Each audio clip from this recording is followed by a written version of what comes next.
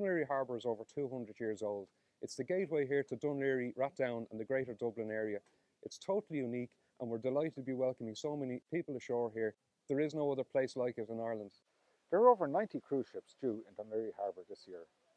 This is very beneficial for tourism the wider area and footfall in Laoghaire town. It also generates a very significant income, which is ring-fenced for projects in the harbour, such as a new water sports campus. This is a very exciting summer for Laoghaire with thousands of visitors arriving in off the cruise ships. But locally we are benefiting from tourism and from employment. We're working very closely with the Laoghaire Business Association and with the Chamber of Commerce. We welcome our tourists with a cabin, giving them advice on what they can go and what they can see locally. And of course our boats are also getting employment working with them. This is a great time to be in Laoghaire.